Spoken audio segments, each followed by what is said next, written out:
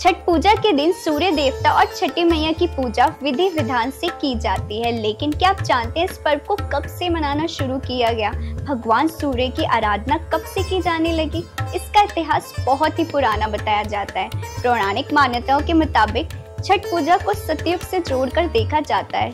ऐसी कई कथा मिलती है जिसमें राजा प्रियवत, भगवान राम पांडवों के अलावा दानवीर कर्ण की कहानी का ज़िक्र मिलता है। तो चलिए छठ के शुभ अवसर पर इन कहानियों के बारे में जानते हैं।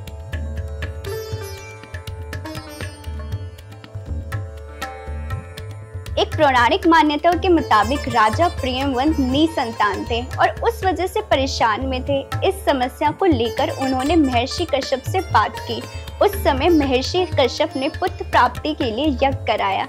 इस यज्ञ में बनाई गई खीर को राजा प्रेमवद की पत्नी को खिलाई गई।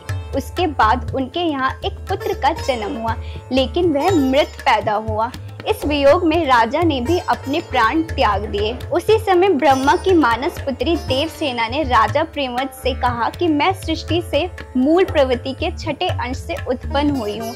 इसलिए मेरा नाम शटी भी है। अगर तुम मेरी पूजा करोगे और लोगों में इसका प्रचार करो, उसके बाद राजा ने शटी के दिन विधि विधान से पूजा पाठ किया और उसके बाद उनके यहाँ पुत्र की प्राप्ति हुई।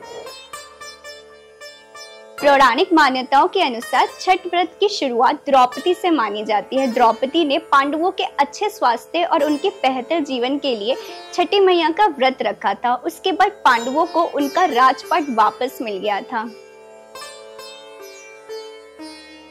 हिंदू मान्यता के मुताबिक कथा प्रचलित है कि छठ पर्व की शुरुआत महाभारत काल से हुई थी। इस पर्व को सबसे पहले सूर्य पुत्र कर्ण ने सूर्य की पूजा करके शुरू किया था। कहा जाता है कि कर्ण भगवान सूर्य के परम भक्त थे और वो रोज घंटों तक कमर तक पानी में खड़े होकर सूर्य को अर्घ देते थे। सूर्य की कृपा से ही वह महान योद्धा बने। आज भी छठ में अर्घ्य दान की यही परंपरा प्रचलित है। उत्तर प्रदेश और खासकर बिहार में छठ का विशेष महत्व है। छठ सिर्फ़ एक पर्व नहीं, बल्कि महापर्व है, जो पूरे चार दिन तक चलता है। नहाए खाए से इसकी शुरुआत होती है, जो डूबते और उगते हुए सूर्य को अर्घ देकर समाप्त होती है। ये पर्व साल में दो बार मनाया जाता है, पहली बार चैत्र में और दूसरी बार कार्तिक में। पारिवारिक सुख समृद्धि और मनोवांचित फल प्राप्ति के लिए ये पर्व मनाया जाता है।